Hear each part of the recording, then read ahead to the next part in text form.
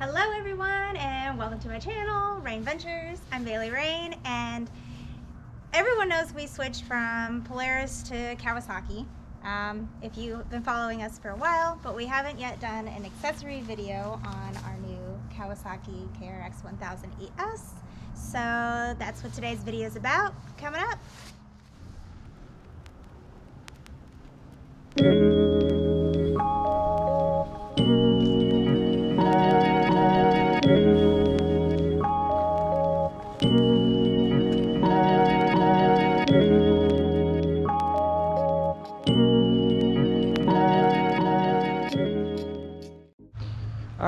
So we're gonna start from the front and kind of work our way back. As you can see, we no longer have our front bumper.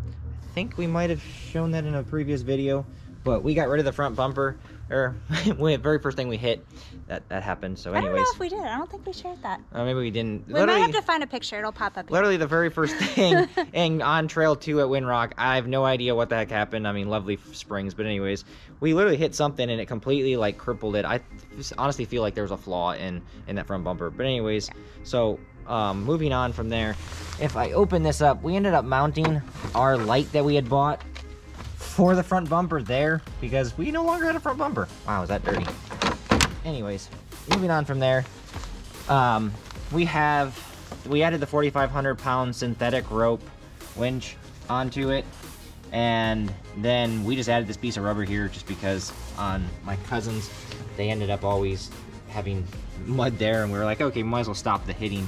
Uh, trail armor skid plate is underneath the whole entire thing. We added the trail armor A-arm guards, and that being the case, we didn't first didn't know if we'd like them because of this piece right here going across. We thought it would break easily, but these things are awesome. They're phenomenal. Uh, moving up from there, we ended up going with Bandit. It's stage three springs, the whole, both the top and the bottom. Unfortunately, they're the only one. I say unfortunately, but so far no complaints. But uh, they're the only ones that make springs for the machine at the moment.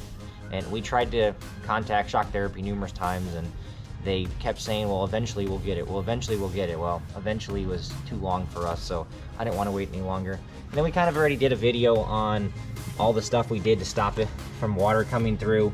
Um, as you can see going up here, we did the extended fender flares. We made our own mud flaps, so we didn't buy those, but we still added them to it. The uh, we only did the extended fender flares on the front. We have the rear ones. We just left the rear ones because it wasn't that big of a deal. We have the mirrors right here that we put on on both these mirrors and also the rear mirror. It's much better since we don't have a spare tire carrier because obviously if you have a spare tire carrier it's kind of useless to it. Um, we did do the cab seal kit which is right here, there, and so on. And then I can actually show or share this, but we made it to where we could actually remove our seats. And by what we did with that is we ended up taking it off. And you can see on there the tracks right here. We welded this track and then we ended up using these holes for it. People do make kits but uh, we were being cheap and we didn't want to spend the extra money on paying for that kit so we just kind of made our own. It wasn't that big of a deal it's just a few pieces of metal front and back and some bolts. Um, going on to the inside side of the machine she can kind of show you. We did the windshield wiper um drawing a blank what the heck you want to call it. Windshield wiper kit i guess the best way of explaining it it has both the washer fluid and the actual windshield wiper. And then we also did the heater kit on the machine and that works pretty darn well i can't complain yeah. then we did all kinds of insulating which we don't have pictures or videos of of that just because when we first got the machine we insulated the machine very very well that was my biggest thing because my cousin's kawasaki was very very hot and that was one thing i wanted to stop from happening because most of the time we don't ride in the well i was gonna say we don't ride in the winter but we do ride in the winter but it's the difference. You can put on extra clothing if you're cold so it wasn't as big of a deal versus the summer. You can only take so much clothing off. But um, we added our own sound don't bar. ride naked guys. Don't ride naked. We added our own sound bar unfortunately i don't like kawasaki's uh, stereo system that they have just the way it's done So we ended our own soundbar. We had two of them, but for whatever reason, they just wouldn't. They didn't want to link together correctly. I don't really know why, but It's plenty loud enough with that just one. yeah, just the one, but just one of those things. Um, we did put this other roof on it, but we had the Polysport roof, which went, came with it. We ended up putting on this one. Honestly, if I were to do it again, I'd probably just stick with the poly one for the. I like the little baby sunroof. Okay, well, it was an, it was an additional five hundred and fifty dollars for it, so I don't know if it's really worth that or not. No. But um, we did do the real rear panel, which if you guys have watched our other video on the Polaris, that was the one complaint that I had, and I know we talked about how it in the uh, other KRX accessory video how much better of a fit and finish this is than the Polaris. The Polaris, unfortunately, was kind of a piece of junk in my opinion. Um, going on from there. if Gotta put the chair back. Ah, I can do that. But we made it just because it's nice to be able to actually take your seats out when you're wanting to clean. And it's a pretty simple thing to put back in. You just gotta watch your seatbelt. And that's good to go. Um, the trail armor, we did do the boat sides right here. This part, and then we ended up adding a piece of foam to it, and then some tape. You can see the tape is starting to fail, but it's stopping all the mud. Uh, I've watched other videos where people have this we Completely just caked. watched was a blown budget. Yeah, blown budget. No diss on blown budget. It's not them. It's just even they talked about they're carrying like 50 to 80 pounds of extra mud on Yeah. their machine because of this not being And filled then in. when they were showing that, he's like, and that's why we foamed on Yeah, that's why I put foam in there. You can actually see it. I don't know. It's it's really dense foam right there. Yep. So that was something that I, I wanted to do. And then we foamed all of this, which I don't know, maybe she can do a video, show it up in there, all the foaming that we did. That's a lot. I did a lot of foaming. I, but I did a lot of insulating on the whole entire thing. As you can see, the rear springs again from Bandit, they're stage three. I think they're night and day over factory, but I'm probably not the best one to explain it because I absolutely hate factory springs. I think they're awful personally, but that's just my opinion.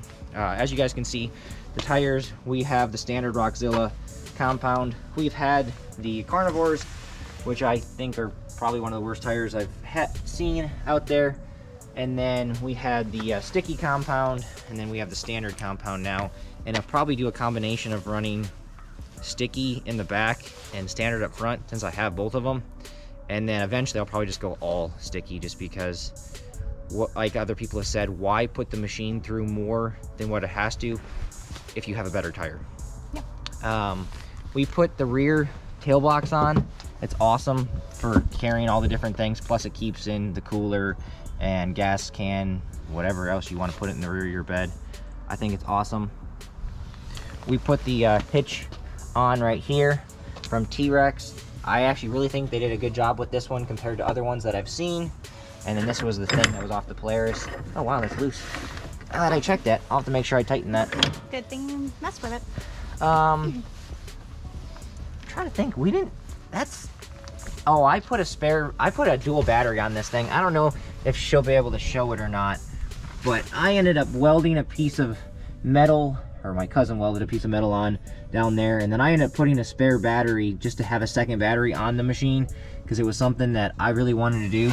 And then if you look inside there, you can see where we insulated the lines that go towards the cab. It's not perfect, but it's much better. I did more foaming there.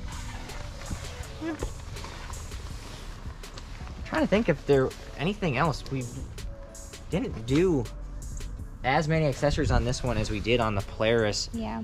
Thank goodness, to be honest with you, because as everyone knows how expensive they are. Can you Mhm. think of anything else? Well, we have that. The we have where we can hook the.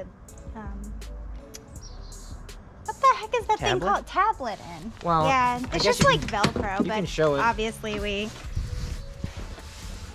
So we just had, I had my cousin 3D print this little piece of plastic right here, and then Velcro's here, here, here, and here, and then I Velcroed the backside of the tablet, and the tablet just sits there, Yep. and normally it works really well. Last video, I think just because it was cold, it didn't want to work, sit there as well, but we were also going up Trail 44, and that trail has just Really rough. it's really rutted out, so I kind of understand why it didn't want to hold as well, but normally we don't have any issues.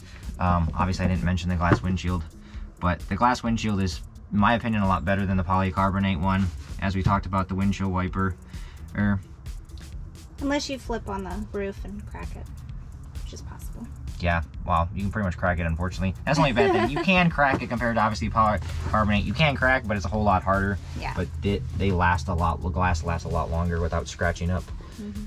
Trying to think if there's anything else. I mean, unfortunately, I, I wish I could take apart the machine and show you all the insulating that we did, but that's a lot of work. If we end up ever going back to it, we'll do a short video on it. But I literally have lined all of these with extra foam all the way through, and our machine is pretty darn comfortable, even in 90 degree weather. It's not that hot compared to mm-hmm. other ones. So. All that insulation helps. I don't know if you have anything else that you can think of or say, or Mm-mm. 'Cause I don't think I don't- so. I don't think there's as many accessories on it. We learned our lesson from Brennan not to get the side doors because all those do is fog up and His cousin with the green Kawasaki. cause issues. So yeah, that was that's pretty much it, guys. If you have any questions on anything, let us know. Yeah, just comment down below. We're really good about responding as quickly as we can. I mean, you guys obviously saw the door bushings. That was in a different video, so we did do the door bushings And because to we me that was a must. The brakes. And then we did do the different brake pads on it, Mhm. but that's just unfortunately par for the It's course. need to be done. So other than that, that's pretty much everything we have. yeah so hopefully you guys found this video fun and informational if you have any questions like we said please don't forget to comment them below and subscribe please and like and share all right i guess that's it guys bye So I forgot one uh one thing, I guess two things. The rear camera right there, and then also the front camera, which is right there. I forgot about them because they're absolutely useless the way Kawasaki has it set up with their system right now. Um, Polaris, every time you would go in reverse, the camera would automatically come on or switch on. Sorry, trying to get the light thing correctly. Um, every time you just went in reverse, it would automatically do it. This is not the case.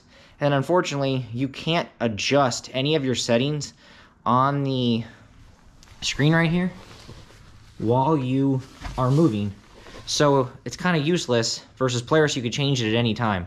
It's something that Kawasaki really needs to update and fix because otherwise, to me, the cameras are absolutely useless and I would never spend the $250 for the two of them again. But just wanted to give that quick update.